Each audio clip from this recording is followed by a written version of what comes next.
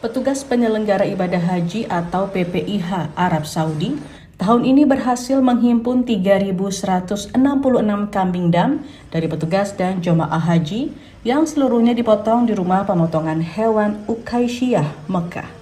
Dari total kambing dam yang dipotong ini, sebanyak 3.000 ekor kambing dikemas dalam 6.000 box untuk dikirim ke tanah air dan sisanya dibagikan di daerah terdekat di Mekah.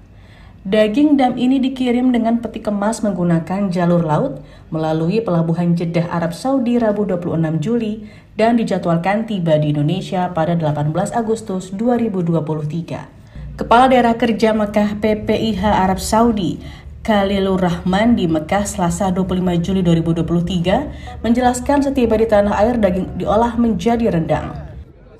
Kemudian akan diolah oleh PT Halan Global Indo Utama sebagai mitra Basnas yang kemudian nanti ditargetkan awal atau minggu pertama September daging tersebut sudah siap untuk dikonsumsi diberikan kepada fakir miskin yang ada di Indonesia. Setiap satu ekor kambing dibuat menjadi 20 pouch rendang berukuran 150 gram sehingga dari 6.000 box daging yang dikirim diperkirakan menghasilkan 60.000 pouch rendang. Selanjutnya rendang didistribusikan kepada fakir miskin di daerah tertinggal, terdepan, dan terluar atau 3T. Fakir miskin penerima daging rendang mengacu pada data Badan Amil Zakat Nasional atau Basnas. Ini juga menjadi salah satu upaya membantu program pemerintah mencegah stunting. Rencananya program ini berlangsung setiap penyelenggaraan haji.